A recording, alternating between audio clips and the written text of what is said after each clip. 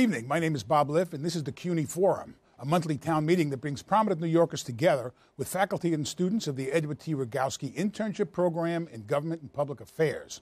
It used to be said that there were only three ways Albany legislators left office death, indictment, or becoming a judge. Well, in the last decade, fully 28 assembly members and senators have left office under a criminal or ethical cloud, and there are four more facing charges, including recently deposed Assembly Speaker Sheldon Silver that is, far more, that is far more standing in front of a judge than those who have assumed the bench. Governor Cuomo has now called for comprehensive ethics reform to end the culture of secrecy that has fed that corruption. He has called for full disclosure of legislators' outside income, threatened convicted lawmakers with the loss of their pensions, moved to crack down on the, on the abuse of per diem lawmakers get when they are on the job, and called for campaign finance reform. Other ethics reformers have targeted member items, which have in some cases gone to groups that hire or are totally answerable to the members who provide them with taxpayer dollars. Lawmakers have lashed back at the governor, wondering whether the advances he got for his poor selling memoir should be targeted, and even calling for his, for his, for his live in girlfriend to be subject to, to financial disclosure requirements she would face if they were married and the governor came under withering criticism last year for suddenly disbanding a special, a special anti-corruption commission, a, a so-called Moreland Commission, that he had formed in order to investigate legislative ethics, just as it appeared in press reports to be extending its look into the executive branch as well. It's all part of what ethics mavens point to as the unsavory link between lobbyist driven campaign contributions and special interest legislation that too, that too often overrides what critics of the current system call the public interest. It's unlikely we'll see the kind of, of, progressive campaign system of limited contributions and limited campaign spending that has vastly improved, though not perfected, politics in the city. I guess it's worthy of note that the city council has a far lower conviction rate than the legislature. Does all of this matter to the man and woman in the street? What are the costs of corruption? Is it possible to curb it in a system in which virtually no incumbent gets turned out of office by the voters, since those, since those lawmakers control how their districts get formed anyway? Does ethics reform matter if the rules of the game are not changed to ensure better representatives among the majority of legislators of uh, legislators who do an honest job for their constituents?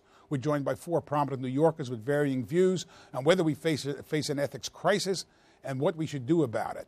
Dick Dadey is the executive director of the Citizens Union. Ken Sherrill is professor emeritus of political science at Baruch College. Michael Benjamin is a former assemblyman from the Bronx who is now, among other things, a columnist for the New York Post. And L. Joy Williams is a veteran Democratic political consultant who just arrived back from Albany just before this taping. You, you, since you just came back from Albany, kind of the belly of the beast, do you? Is there a sense of is there a sense of besiegement, if I can coin a word? Do, is is this ethics focus being felt? you know, I can't say that walking through the halls and, you know, in the chamber that there seemed to be either from the legislators or the folks that were um, there to persuade their legislators one way or the other on their particular issues, that they felt um, some uneasiness um, or felt that someone was coming to serve papers at any given moment. Um, I think for the most part, um, people were going about the business as usual in Albany, which generally happens anytime um, we circle around and have these points of uh, crisis, as they're called um, you know, pe- uh, there's a majority of people sort of going on as business as usual. Um, and that's what, you know, the sense was today. You know, there were still lobbyists uh, lobbying, there were still uh, interest groups there, there were still elected officials, um, some of who um, may have some cloud maybe following them, but it certainly did not permeate through um, the rest of the chamber or Albany. Michael, you served up there. Mm-hmm. Um, how conscious is, the, and how how conscious are lawmakers about this kind of ethics focus? Are they? Is there a circle of the wagons? Is it turning on each other? I mean, what's what's the kind of culture I would within say the legislature? Two years ago, when it became evident that that Nelson Castro, someone from the Bronx, was wired for, for three or four years in the legislature, when they heard about that, they were nervous about who was. Uh, uh well, there are other members who were wired. They joked about having meetings in a sauna so they could see who was wired. Um, but I think the issue now, I think, is their leader has been indicted. I think that's a whole different matter. I think many members were chastened um, about corruption. I think the fact that uh, Shelley Silver has been indicted, I think that sends a different kind of a chill. I think many other members, because as you notice, it took uh, less than a couple of weeks to get him out. And when he wanted to stay, there was this, this, the quick turnover to make to make Carl Heastie the uh, the next speaker. So I think they're beyond that now. They, they want to work towards some sort of compromise with the governor when it comes to let's, when it comes to uh, ethics reform. I think many good members want ethics reform. It's just what will it look like, and will they be the only ones to whom it will appear? They're the ones who are really the bad guys because they, they want to look at the governor too. Because there are things the governor has an ability to do, whether he's rewarding his contributors or not directly. It can have that same kind of taint. Uh, Dick, you've been at this business for an awful long time. Um, is the um, is the, the the ethics crisis uh, setting the stage where things might finally get done? I would hope so. Uh, we've seen many previous attempts uh, made that have not fully succeeded. There have been half loaves. You know, in 2011, uh, when Governor Cuomo was first elected, uh, there was a huge ethics reform package that was passed that did include joint oversight of the legislative branch and the executive branch that provided some independent enforcement of our new ethics laws. And actually, that has helped lead to. Was that, was, was that JCOPE? Uh, that helped create JCOPE. Uh, but also, uh, it actually helped lead to the uh, problems for Shelly Silver because he was uh, required now to disclose outside income and did so incorrectly by not disclosing all of it. Uh, we have this veil of secrecy that exists in Albany. Uh, a lot of what state government is involved in is not transparent or publicly available. For example, a lot of the committee meetings and hearings that take place in Albany in the Assembly are not webcast. Uh, they are in the Senate. It's this veil of secrecy that has created this culture of corruption that has led to this crime wave that you alluded to earlier in the show, where 28 legislators uh, in the last 15 years have been forced from office as a result of criminal misconduct or ethical charges, and there are another four under indictment. I think New Yorkers have reached a point uh, where they can no longer accept a half a loaf, and I'm hopeful that given the governor's strong stand, although we don't necessarily agree with everything that he's proposing and how he's proposing to accomplish it, but I think, as, as Michael has said, this has really woken up uh, many in the legislature to realize that we need to do something big here, and I hope that we will. I want to come back to the secrecy question in a second, but uh, Ken, why should um, why should the average New Yorker care about this? That's you know, uh, if you look at polls, people are more concerned about rent regulation. They're more concerned about substantive issues, if you will, a, to, the, to the degree that ethics is a process issue. You know, I, don't want to say it's not a substantive issue, but there are, there are other issues that are more compelling that affect people's daily lives. Does this ethics crisis affect people's daily lives? I remember the election in Louisiana where a convicted felon was running for governor against the grand wizard of the Ku Klux Klan. And there were bumper stickers all over the place that said, vote for the crook. And, uh, you, you, know. That was Edwin Edwards versus David Duke. Yes. That's right. Uh, and uh, I think that some of that is going on in Albany, sort of the mirror image of it, which is that we have correctly been so obsessed with corruption in Albany uh, that we have been looking the other way at the general failures of the political process in Albany, the culture of secrecy, certainly. The fact that we have a legislature in which the legislative process does not occur, I think, is, is perhaps really critical. Uh, the, the bizarre powers of the governor. Uh, there are, you know, the whole malapportionment of the state. The, but the, the fact really that there is no legislative process in Albany is the biggest single problem. And I fear that people are going to think that by solving the corruption problem, we've solved all of the others. It's not. There are many more problems in Albany than corruption. And, and can I can I add Please. to that? I think we're um, you know we should bring into the conversation overall. Um, you know we're talking about the polls in terms of people um, wanting an on-time budget or concerned about rent and, and things like that, sort of more than this corruption question. Um, but we should also bring into the conversation that across the board, not only here in the state, but across the country, there's a, a certain basic level that the average American citizen have in believing that their elected officials are crooked or corrupt to begin with.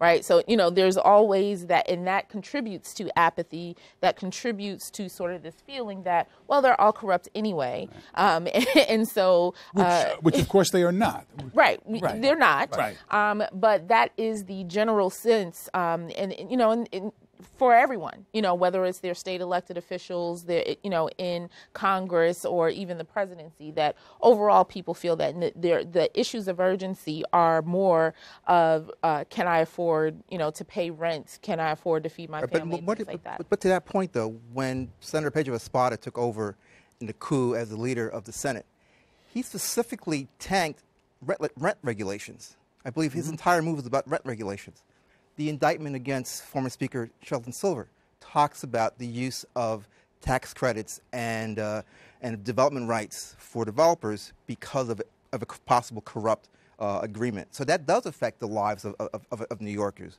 whether it's housing or anything else. I think so. It does have an effect on how legislation is done. I know for me, I started thinking about things that happened in the legislature. I forget what year it was that, 2007, 2009. Um, the rent regs were about to sunset. We ended session. Come back the next day. The day before session was going to end. The Senate stayed in session all night, and they voted a rent regulation that we either had to agree with or, then, or let it expire. So we were stuck to pass a Republican proposal. And I'm thinking, well, did Shelley know about this? And was this part of a deal that we all get suckered into? So you start thinking about how corruption can taint the process and think whether it happens or not, it, it does have an effect. Okay. That's. Yeah, I mean, uh, there are a lot of good people serving in Albany. And the unfortunate thing is that the bad people overshadow all the good that gets done. Uh, and I think also the legislative process, which Ken was referring to, uh, stymies good people's intentions. They come up there with great ambitions and a desire to serve the public interest. But because the legislature uh, doesn't operate effectively or efficiently and is so controlled by one person or you know, uh, leaders from each of the two houses, uh, it deflates, it, it disempowers the individual legislators. And so it does create this culture where people are looking for influence and there are opportunities. You know, I think New Yorkers want to believe in the, their elected officials. Um, and, you know, when uh, things like this happen with Shelley Silver, and as, as, as Mike just mentioned, uh, uh, with Pedro Espada, we want to believe that they're acting in the public interest, but we don't know that for sure. Uh, and these kind of acts undermine that public trust. And so it's an opportunity here uh, the governor has and the legislature has to really restore the public trust and to you know and and to bring uh, a sense of trust back into government.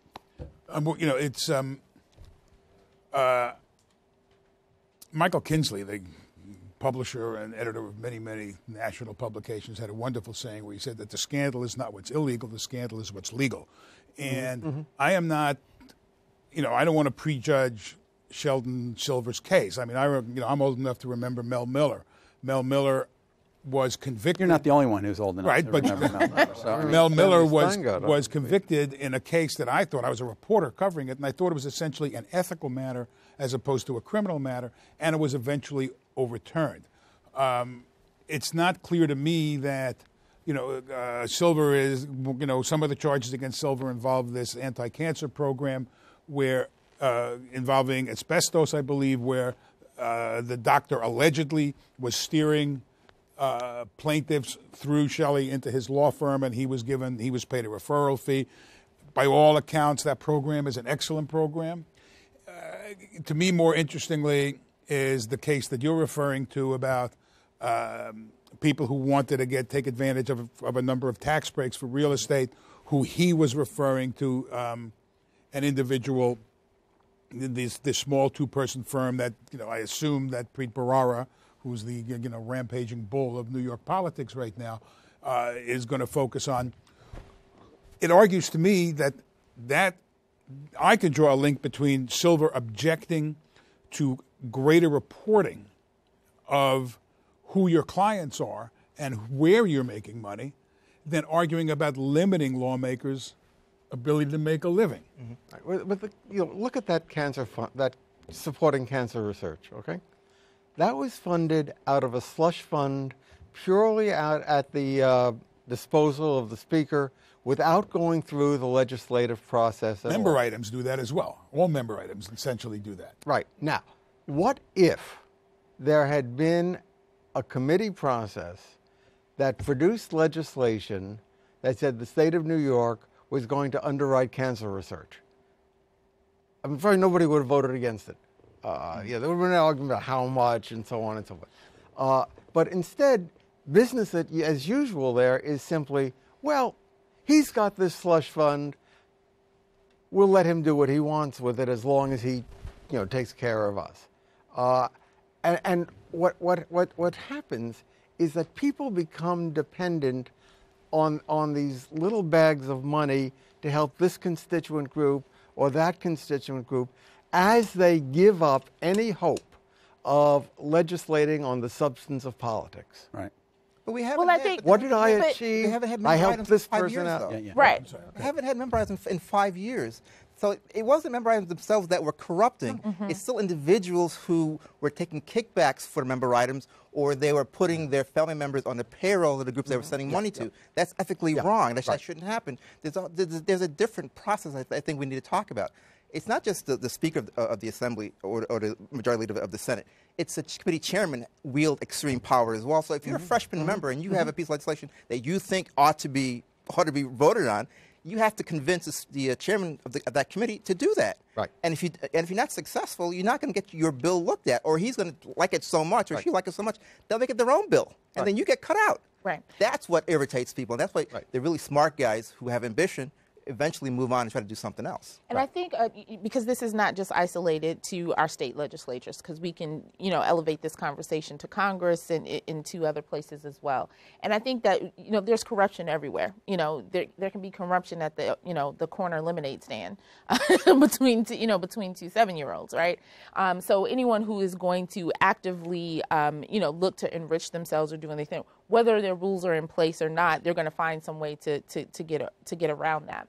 Um, and ev but there can be unintended consequences on on those things as well, particularly on member items, right? Um, that you know, yes, people use them to get kickbacks and sort of do all of these things, but then think about all of the smaller organizations and other things that do are not able to be involved in that process, who cannot afford to do a lobbyist, who can't afford to do all of this to make sure that their issues and things are heard.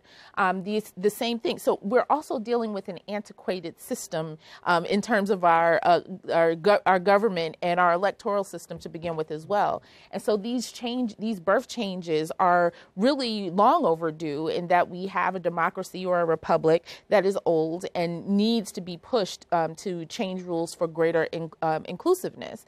Um, and so as we're trying to create new uh, strategies for reform, um, so that uh, there's transparency, so that there's greater involvement, not only for who is voting in the legislation that gets uh, that we get out of our legislator, but actually who our legislators are. Um, that's an that's an issue because even talking about uh, um, you know. Uh, um, outside income, um, as well as what our legislators uh, are paid, it can be an issue of having fair representation um, in the legislature as well. Those who are able to afford, independently wealthy, and afford uh, to be able to be legislators, that leaves out uh, a number of people um, who are not able to run and sort of be in the process. Let me ask. Let me turn to you on this question because I think it's a very important point, which is, um, are we better off with limits on out, on outside income, or since I believe that you know my bias is I believe that sunshine is the best disinfectant,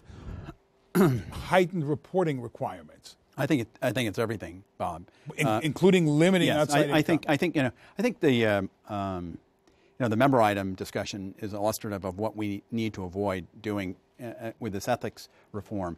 You know, uh, member items were the lifeblood for many community organizations, and, and from our perspective, should not have been cut. They should have been reformed. And what, you- you don't reform something by ending something.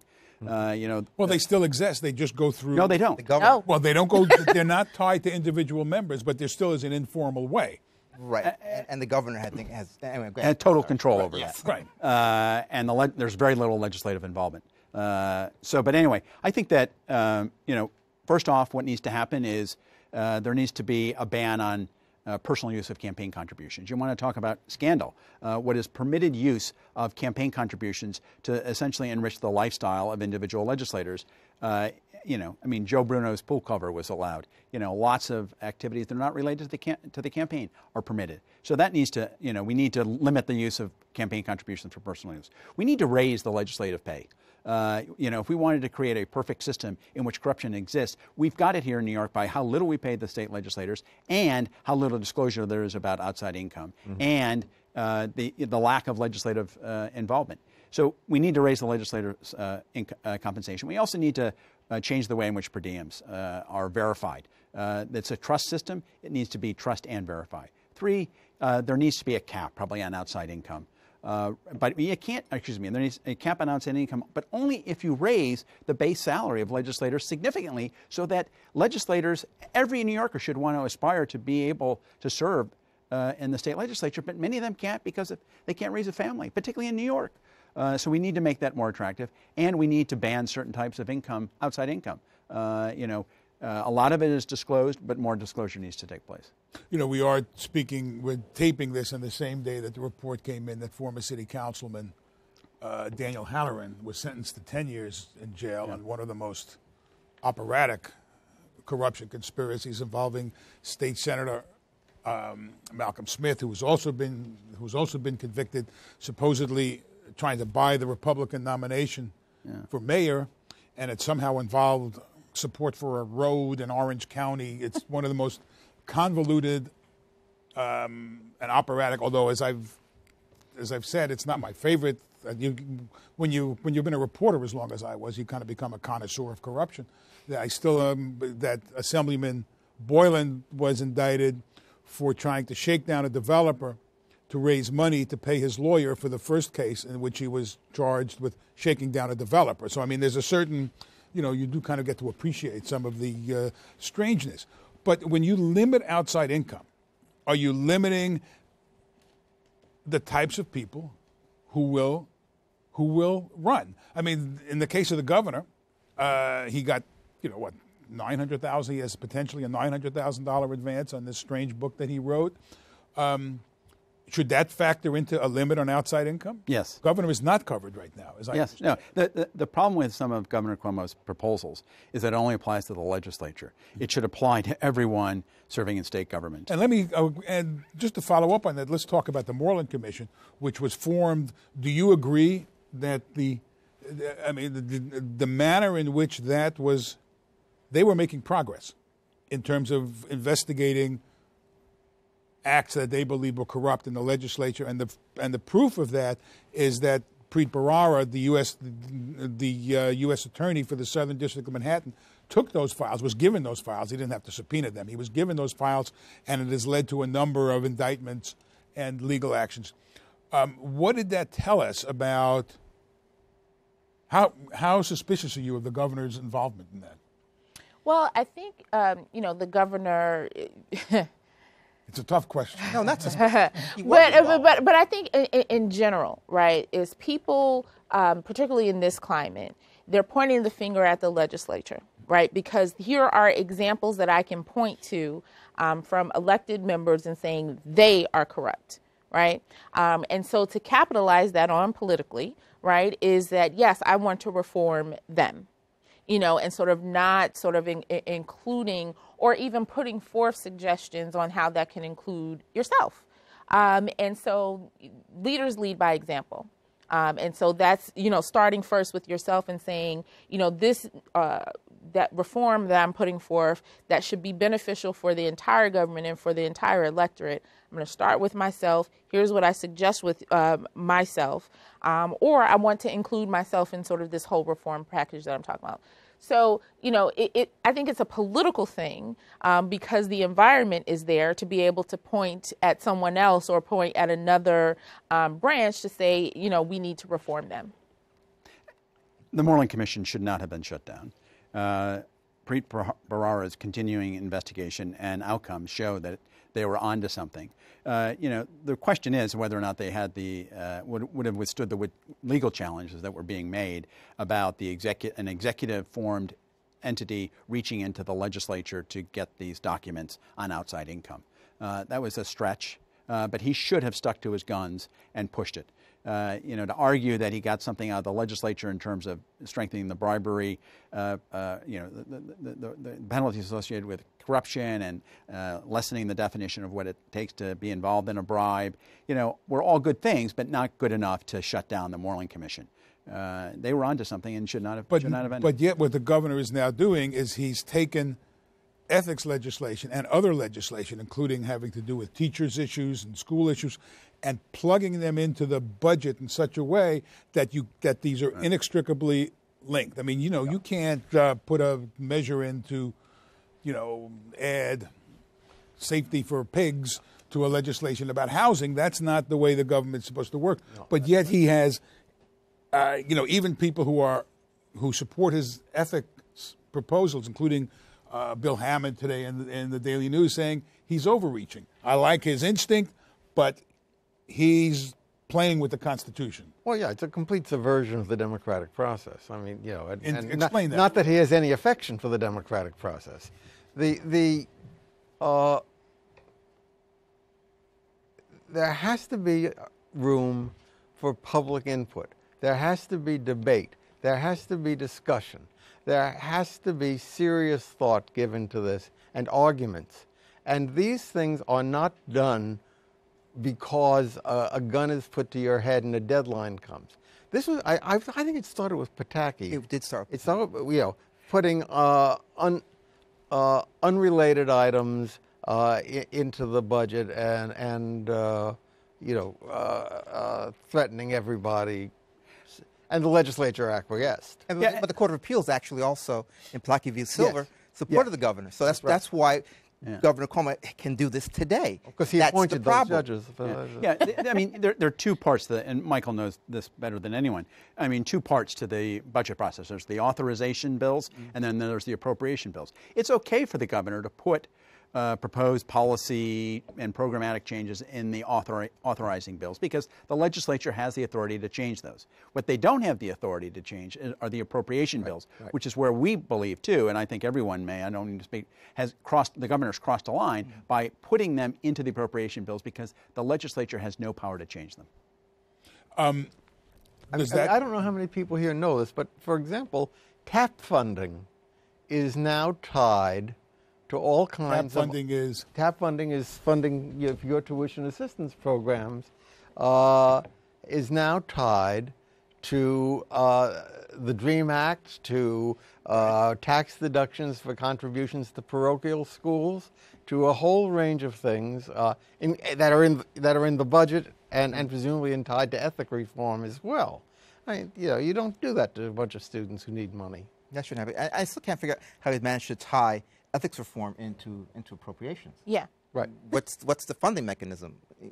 He actually has done it through the comptroller. It's the it's part of the per diem uh, uh, process and the and the verification.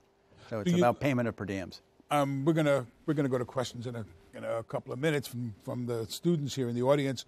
Uh, Bharara, ha, Preet Bharara, the U.S. Attorney for the Southern District, has been uh, kind of operatic in his own way. He has been uh, a bit gleeful in public. He frankly reminds some people of the grandstanding of Rudy Giuliani, um, and we know how that worked out. Uh, but I don't want to. I don't want to. You know, tar Bharara with uh, Giuliani today. Is he uh, overstepping his bounds? I, I, I like what he's saying. I do too. Because he expresses a frustration that many people have. Um, Is it appropriate for a prosecutor to be doing that? Absent anyone else doing it, Bob? Yes.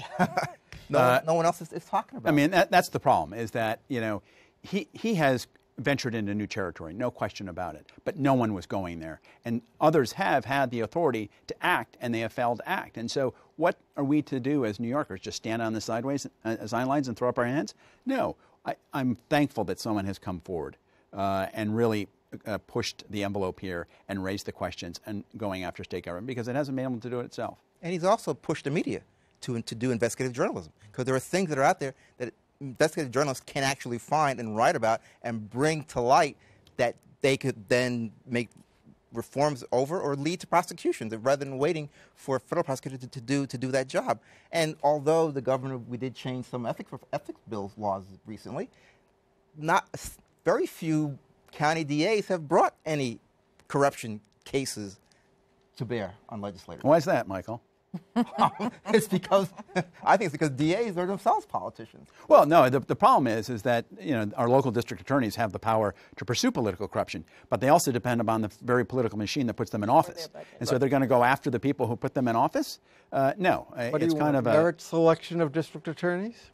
Competitive examinations? no. But I think there are other ways in which to uh, you know uh, give uh, the power to. Uh, pursue public corruption. I mean, the attorney general uh, should have greater power than he. uh, he But yeah, you know. I, I mean, w- Bharara is on the side of the angels. I mean, without regard, you know, to the tactics. But then along comes a less enlightened president who appoints a less enlightened U.S. attorney who points to these procedures and said, well, it was okay when Bharara did it for what he thought were good things. Uh, so I can engage in prosecutorial Well, those, that's the kind of argument that was made about Chris Christie when he was U.S. Attorney in northern in northern New Jersey, that he was politically motivated. in his investigations that would get dropped right after Bob Menendez, in particular, was reelected. All of a sudden, the investigation disappeared. Yeah, I mean, you know, uh, uh, uh, New Jersey is a cesspool equal to New York, but uh, Well, know, we always said that we had the best politicians money could buy. They just Well, they have the out Not to be not to be that Yeah, good sometimes. And, you know, I do want to say that, and I, I think Dick, you're the best one to talk about this. Is that we're beaten up on the assembly. Uh, some of the same questions about uh, the clients of Dean Skelos, the Senate Majority Leader, um, Senator Senator Libous, who's one who's a very senior guy within the Senate. I I believe has been indicted. Is that? Is he that has been indicted. The, sec- the second Or most powerful- lying, though. But are we unfairly picking on the? I mean, are we unfairly picking on the assembly? No, I don't think we're unfairly picking on the assembly. But I mean, uh, you know, I, when we pick on the legislature, I'm picking on both the Senate and the assembly. Right. I'm not singling out uh, the the, legis- uh, the assembly, but you know, a third of all legislators make you know income in excess of twenty thousand dollars, and there's about twenty of them, uh, most of whom are in Income the Senate. outside their outside I- their I- right. legislative I- salary. I'd say uh, um, uh, more legislators make more money as a percentage. uh, More state senators make a percent uh, more money in outside income than assembly members, and that's because of their lucrative law practices. Right, that's the other. Well, uh, the law. You know, one of the critical factors has in fact been whether uh, lawyers should be required to lawyers who are legislators should be required to identify their clients because their clients have the potential be, to be tapping into the public purse that those lawmakers control. Uh, there's also a legal ethic that of confidentiality and and proprietary information that goes to the to the relationship. There's a um, that that you know goes to the relationship between a lawyer and his client. Um, And the city is bar. that, is that bridgeable? Yes, it is. I mean, the city bar, uh, the New York City Bar Association, the Professional Association of Lawyers here in New York City, uh, even before the 2011 uh, ethics law was passed, basically said that legislative uh, legislators who are lawyers can disclose uh, their clients. Uh, there needs to be protections in place, but uh, legislators can disclose their clients and should disclose their clients for the very reasons you mentioned.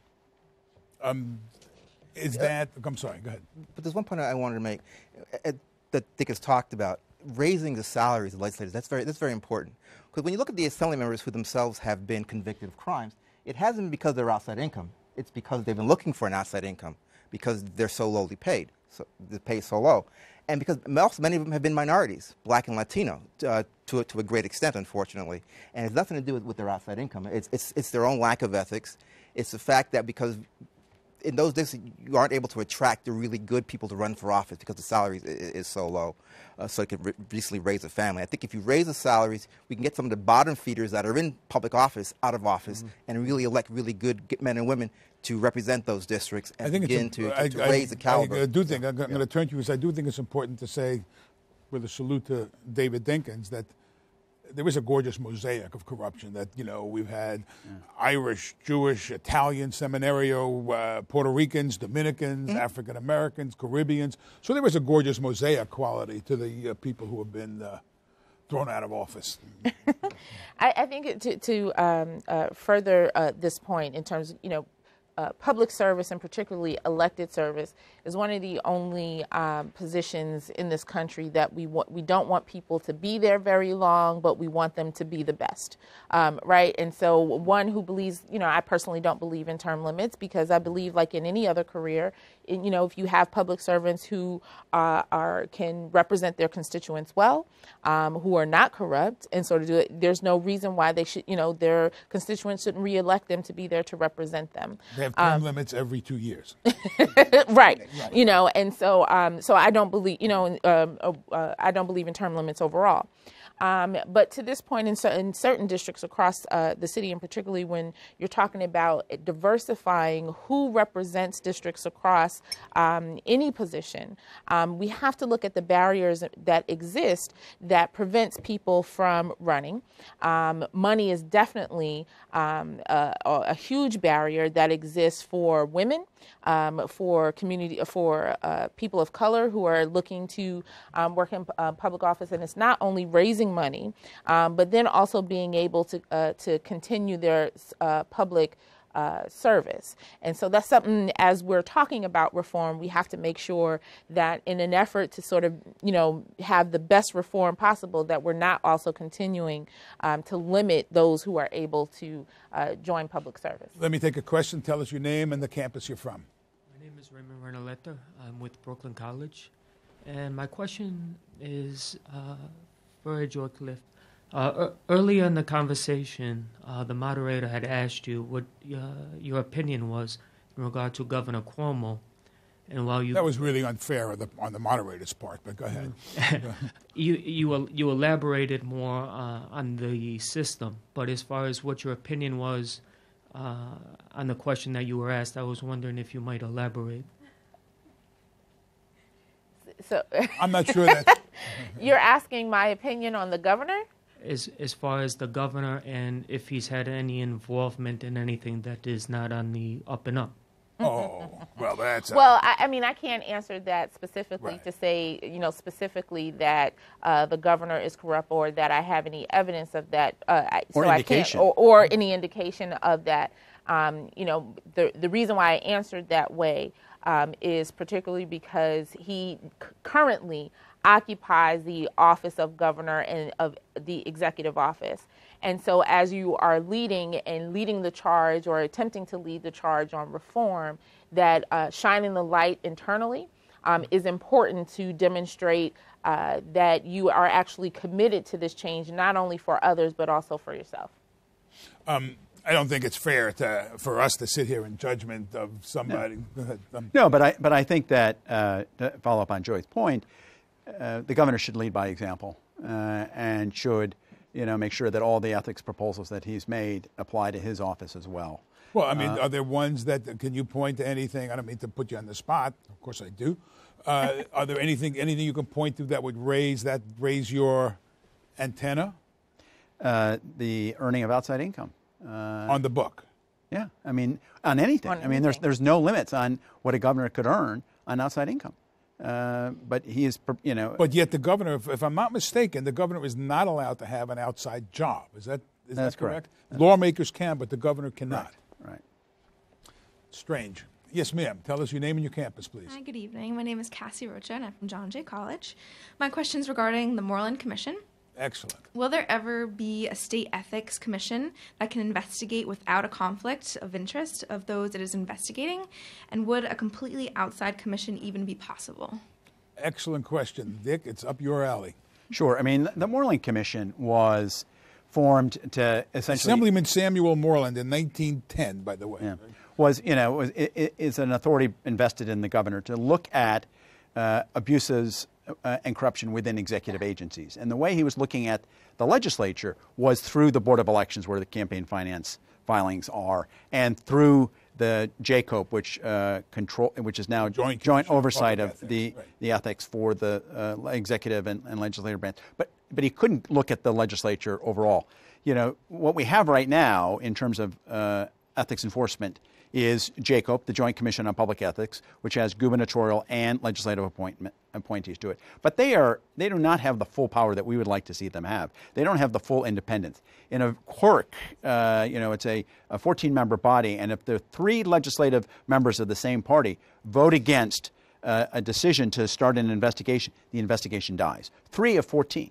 Uh, and it's, you know, we need to change the voting structure. We need to give it greater independence because I think it really wants to go after some of this corruption, but can't because of the way it is structured. Uh, the legislature still has the authority to prosecute when cases are identified and findings are made and, uh, and uh, a report is issued. We would like to see that taken away from the legislature. Well, and the legislature yeah. should only have the power to assign penalties. Well, I mean, of course, you do have an outside prosecutor in this case, Bharara, who does not have those kinds of restrictions on on him, where he can stick his nose, where he can follow his nose wherever he right. wants to. But follow. the day-to-day enforcement should be done in a much more effective way uh, through a greater independent agency. And the key is through reporting. The key is right. again sunshine. I mean, that's. But we're also forgetting campaign finance. Mm-hmm. I think that's where the governor has not been leading by example. He's mm-hmm. raised an obscene amount of money two years ago to run for reelection and he would not impose limits on himself, even though his opponent had barely able to raise a dollar himself. Um, the governor hasn't worked on that. He's been rather secretive about how money is spent in the various authorities and who his campaign donors are, and if any of them have benefited from actions taken by his government. And without having the sunshine to see that, we should raise questions about what he's been, what, what his donors, how they have benefited. I mean, this is probably for another show. But you know, I've always wondered. There's a there's a horse and cart question, a chicken and egg question. Do people give money expecting favors, or do people give money to people who they think agree with them? And that's one of the hardest things to. I think neither. I mean, I think some, yes, but I think the main thing is that people give money to make sure they've got access. Right. Right. Um, and well, access is not a decision. Right, exactly. But they want to be sure that they will have the attention or the interest of the person. Whether they can ultimately convince the decision maker is another uh, uh, situation entirely. But uh, given the amount of money that gets raised, everybody gets feels this pressure. Like, well, if he's contributing and she's contributing, I better contribute because I'm going to be left out uh, if I'm not a contributor. And so everybody contributes as business before the state because they want to make sure they've got the attention Which of the is part of why the city system is so brilliant of limiting contributions, Correct. public matching, limiting limiting spending. Yes, ma'am. Good evening. My name is Sandra May Flowers from Hunter College. And with such low voter enthusiasm for the state politics at the current time, how can we make ethics a more prominent issue? Well, it certainly is a prominent issue now. I mean, in terms of press coverage and you know public attention, which is often driven by the press. I mean, one of the problems is that New York City. I've made this point before in this show. Is fully a creation of Albany, and they could vote us out of existence tomorrow. It's kind of like in the 1980s when the when the wars were going on in Central America, and people would say Americans will do anything about anything for Central America except read about it. Um, it's only at times like this that there is this kind of spotlight right. on Albany. Um, I think to uh, um, to her point as well um, is sort of the the greater conversation of voter apathy and sort of what uh, how these corruption or um, pushes for reform sort of contribute to that. Um, there are lots of different reasons uh, that voters feel apathetic. there are lots of different reasons as to why more people don't participate in the process uh, corruption or the appearance of corruption being a small portion of that. Um, and so I, I, think as we continue to push uh, reform, I think that more people will, you know, seek to be involved in the process, or at least see that there there is a voice for them in the process overall. Yeah.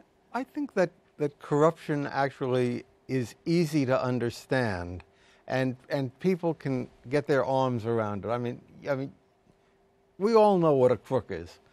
It's not a matter of, of thinking about abstractions and the kinds of things that you think about with regard to uh, I- issues that you haven't experienced, with the, pro- the political process itself. Uh, those are much tougher. And ethics involved in the process that don't involve money are the things that we can't get attention paid to. And I think that's where the problem But the other, other issues you have too, because of what you said, when you have voter apathy and low turnout, people who are corrupt, at least been accused of corruption, get reelected. It hap- it's happened. Well, there's a, a vicious cycle, and then people turn off because of the corruption, and less people right, are going right, to vote. Right. So but, I mean, it's kind the, of a. But, but the voter also has a responsibility. I have this, this weird distinction, having been preceded by a person who was corrupt and convicted and sent to jail. My successor was indicted and convicted and is now serving time in jail. So what happened to you? Why, did, why were you so clean? That's got right. out. I had, I had constituents who always said to me, Michael, are you staying honest? He, they took it upon themselves because of what happened to my predecessor to take it upon themselves to ask that question, to be the ones probing and making sure this guy I'm putting my trust and vote in that he is staying honest. So voters can do other kinds of things too to do that. And, in, and when you have people who vote, you, you get more voters, you can get more competition, and you can possibly oust people like Pedro Espada. Yes, ma'am. Hi there, my name's Amanda Dunn, and I go to Queens College, and I just want to know uh, why, you, if you guys think it's fiscally responsible for the governor to put the New York State budget on the line for ethics. Um, for example, the the governor might use his executive budgeting power as a threat against the legislator to enact these reforms. Well, I mean, the kind of linkage that we've talked about. Uh, It is a when you it's kind of an omnibus legislation with disconnected I mean, things. I mean uh, it's uh, unacceptable for him to have taken this action. it's an ends justify the means argument. Yeah, but but I can understand his frustration uh, because I'm just as frustrated with the fact that the legislature has not passed the kind of comprehensive ethics reform that would that would result in uh, preventing a lot of what's been going on. I mean, arguably, Shelley Silver uh, and others have been tripped up as a result of the reforms that happened in 2011. And so, just imagine, I mean, if we do succeed in passing stronger ethics reforms, we may see more corruption come out because there will be more opportunities to catch it, and it'll take a while for the system to clean itself out as a result of the new ethics reforms. Yeah, actually, it's neither fiscally responsible nor ethically responsible. I mean, it's not fiscally responsible because nobody's paying attention to the budget. Everybody's paying attention to the to the ethics question, and it's not ethically responsible because it subverts democracy. Other than that, it's okay. Yeah. Okay. yes, sir. My name is Michael Fabre from John Jay College. My question to you is How can we strengthen the protection against conflicts of interest when prosecuting for ethic violations? And in regards to the case of Mr. Silver, uh, I'm sure he has a lot of uh, connections all across the, the uh, judicial system. So, how can we um, protect against uh, there that to make sure there's no going easy? Well, first of all, Silver's case is a federal case, and you know Silver's involvement to the degree uh, he was involved in the selection of judges, he was very close. He he he remains very close to the chief judge of the state of New York. But this is a federal case, and he has no role in naming the federal judges. But uh, does anybody have a take on that? No, I think you're right, Bob. I think uh, uh, you know the the solution to preventing future Shelley Silver-like cases is greater disclosure, as we've talked about, and disclosing you know uh, the clients and disclosing the source of income in a way that he did not uh, as well as and and limiting the kind of activity that is permitted in the earning of outside income. Uh, you know, essentially forbidding any kind of uh, involvement with a firm that has business with the state. I think there has to be a reallocation of power as well. Uh, Definitely. you, know, you you can't From just- the leader-controlled. That's right. you. You you have got to. the three to men have in a room, if you will. That's right. I mean, not just the three men in the room. I mean, that's got to go. There should be conference committees. The governor should be forced to veto. Uh, there should be overrides. Uh, but the, the speaker and the majority leader should not have that kind of concentration. Just look at the number of lawyers on the speaker's staff as opposed to the number of lawyers on any committee staff. Uh, there's no way that that uh, bills can become law without being structured by the Speaker's office, without regard to what happens in a committee. I mean, Ken's made a very good point, and Joy's made this point too: is that the legislature is, you know, a weaker uh, branch of government than the than the executive, the governor, and part of the reason why we have these strong, uh, strong speaker and a strong majority leader is that you want to have the legislature be as strong as possible and as unified as possible, so they invest all of their power in these two individuals. Uh, where the real solution is to give more is to is a constitutional change to give more power to the citizens legislature uh, the assembly and the senate. And uh, i think by doing that will lessen the ability of the Speaker and the Majority Leader to hold the kind of. Constitutionally, New York has an unusually strong governor. Right. Yeah. That's- And, and the city has an unusually strong mayor, too. Exactly, and it- there's always this contention both with the city council and the mayor, and, and, and then with the legislator. And just to, to sort of close out and sort of wrap up, just in terms of um, Michael's point about the voters' responsibility, right? Because I think we uh, we are also brought up to believe that our responsibility as voters is only participating in an election. Um, and then we're not taught very uh, very much. It is not part of our regular civic education in how we continue to influence the system. We should really be demanding um, uh, reform across the board, and not only uh, legisl- you know, the legislature, but across the board in terms of how our government is run and sort of how uh, our money is spent and how laws are passed and what issues we take we take upon. Again, we have an antiquated system um, that has uh, um, it, we've kind of outgrown um, that we need to change in order that we have a more transparent and representative system. Transparency is the absolute essential key. Yes, ma'am. Hi, my name is Christina Brown. I attend Brooklyn College, and my question is: uh, time and time again, we see we've seen ethics reform crumble due to the fact that those who are in power don't want to pull back the curtain of their own faults. So my question is, what are the roles of nonprofits and non-governmental organizations in ethics reforms? Uh, kind of more more broadly, how much is public pressure going to force change on people who might not want to change otherwise? Well, and public pressure is the only leverage that we have right now, other than the U.S. Attorney. Because And- you're not going to vote them out of office. You the know, realities, and- you know, you know- death, indictment, or becoming a judge. And you know, a lot of nonprofits, uh, including Citizens Union, that serve as good government watchdogs, issue reports. You know, highlight the problems that exist. We uncover corruption. We uncover. You know, I mean, Citizens Union on its website has this corruption tracker that you alluded to earlier at the beginning, citizensunion.org. You know, it shows uh, in very detailed fashion the 28 legislators and why they left office. It's that kind of public pressure. It's those kind of reports, that kind of data crunching. You know, whether it comes to campaign finance reports. Uh, you know, having a very strong and effective media uh, helps to keep uh, the system as honest as possible. You know, I think there's a cauldron of activity going on right now as a result of all this corruption that could be explosive and could result in some meaningful change. because everybody knows that the media is ethical. Uh, Well, you were when you were. I mean, well, when I was there, it was And you still are. yeah, Right, yeah. Absolutely, yes, ma'am. I had 27 arrests and no convictions. I had a perfect record. Yes. My name is Shakira Rincon from John Jay College. Um, my question is for Dick Dadey. Um, how do you believe outside income can be limited, um, limited other than increasing member compensation? How do you how do members disregard outside income that was there before being elected? Very good question. I mean, I'm I happen to be very suspicious, not suspicious.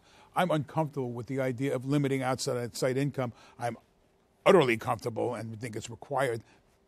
Absolutely increasing reporting, but the but the question of limiting by limiting income, are you limiting who can who will serve? No, because uh, it, you cannot just address one piece of this puzzle and expect it to solve the problem, uh, which is why you need to increase legislative pay uh, significantly. Uh, you want to have the ability of the legislators to continue to earn outside income, but you want, we believe that you should limit it. And why should you limit it? Because when you enter public life, you are taking on a significant role as a result of earning the public trust during an election. You cannot serve conflicting or different masters. You only can serve one master, and that is the public. Uh, for you to be, you know, uh, But even working on behalf of your constituents at- and then turning around and, and working on behalf of uh, clients who are interested in influencing state government action, that's a conflict. But what about something what- like? But what about something like Bloomberg, who put his money into a blind trust? I mean, this is the man who had economic interests everywhere. Is that a means of and letting people who've built up assets have those assets perform for them while they're in public office? Yes. Or what about a, a, a legislator being in public office and then being, you know, a professor at a college Or or, a minister, or, or a a, a preacher, Flake, right? Yeah. right. So there there are many different, and I agree with you that sort of makes you a little bit uncomfortable in terms of uh, limiting people's ability Mm. to um, their pursuit of happiness, as you should say.